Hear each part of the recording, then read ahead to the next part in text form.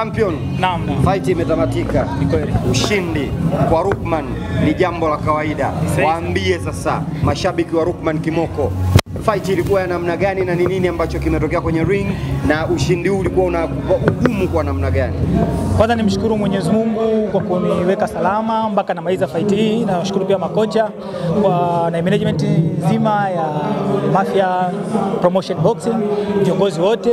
Kwa kifupi ni fight ni hadi kidogo, kwa sababu huyu wao wa Malawi mara nyingi wanakuwa ni wagumu sana, wagumu mno. Tena sana. Kwa hiyo nilijaribu kufanya jitihada zangu zote, lakini nilivyoona huyu jamaa ni mgumu, afia hakujua password yangu sababu nilikuwa na injury ya pua.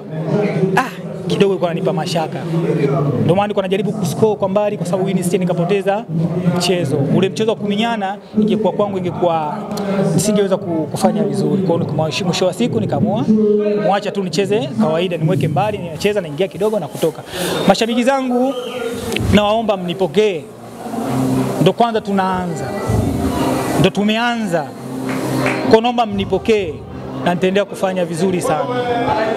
Fight ya kwanza kama nitakuwa sijakosea, Rukman Kimoko akiwa Mafia Boxing Promotion, kama nitakuwa sijakosea, utaniweka sawa.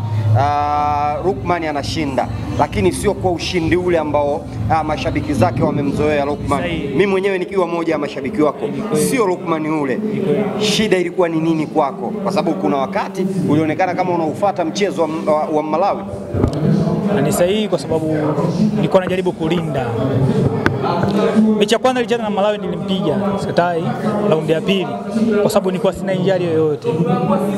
Umeona, nilipojaribu kuingia kwenye mchezo wake mara kwanza alikuwa ananiforce kumrudisha kwenye mkono wake wa right. Sikustuka, alafu pia ile kapiti kidogo ikaleta kuleta shida. Kwa hiyo nikanabidi nikanyage chini. Kwa kustiki chini inamaanisha ni, niweze kumkabili yule adui, lakini baada ya kuizoea ring kidogo, basi nikaamua kuachia, ila mpinzani wangu ni mgumu kwa kweli. Yeye anasema binafsi anatamani marudiano na wewe kwa sababu ameshaona madhaifu yake, ameshajua uh, uh, wewe madhaifu yako, anahitaji rematch na wewe. Wewe kwa upande wako hili koje? liko wazi, mimi namkaribisha tu aje tu muda wote, anaonana na management, anaomba sawa, haina shida, tutapigana tu, sababu sisi wote tumechagua mchezo wa ngumi. Kwa kama tumechagua wote, ndio ndio kazi yetu, basi muda wote anaohitaji kuja aje tu, mimi nampokea kwa mikono miwili. Zungumza sana mashabiki wa Rockman wanaokuangalia.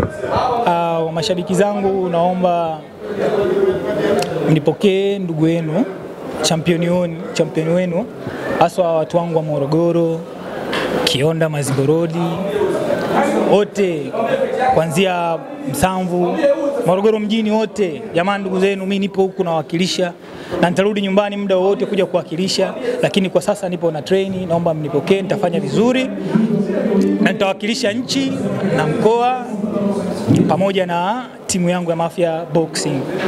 Naomba Asante. asante sana.